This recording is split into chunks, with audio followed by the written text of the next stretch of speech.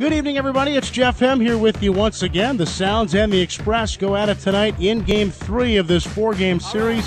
And what else could we see tonight that we have not seen in the first two games of this series? A wild start to the set. And the Sounds have them on the corners with nobody out.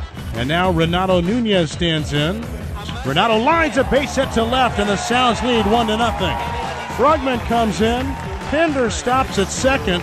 Three consecutive hits for the Sounds. They're on the corners now for Ryan Healy. Here's the 0 1. Here's a drive to left center by Healy. On the run to Shields. That's a base hit all the way back to the wall. Pinder is in.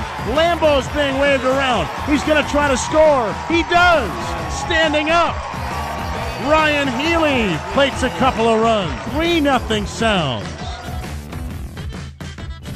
And now it gives Joey Wendle a chance to bat with the bases loaded. And the one two pitch. Joey, it's a high fly ball to left center, playable. Little shallow. Strausborger in, and Strausborger can't make the play. One run is in, two runs are in. Olson scores. A little floater into left center, and somehow it dropped. The Sounds get a break, and they lead 6 to 2. Maxwell, first down for the Sounds, bottom of the fourth inning here at First Tennessee Park. Kyle Lohse to Bruce Maxwell, who drives one in the air. Deep right field. Back is Robinson at the wall. Gone! Bruce Maxwell on the first pitch in the fourth inning hits one out. His first home run as a sound.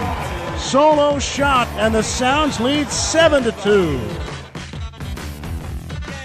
Nicholas at second, Davis at first. They're not really being paid much attention. They go, the 3 2.